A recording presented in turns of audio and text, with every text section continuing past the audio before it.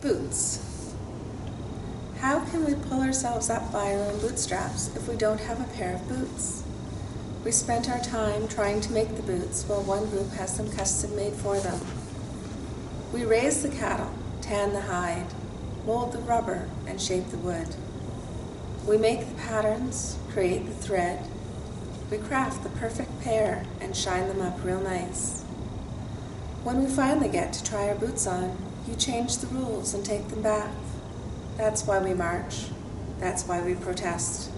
That's why we're angry. We want to tie our own boots. We want to wear them proudly. We want to contribute to society equally. We want to run the race and try hard without stumbling blocks and obstacles.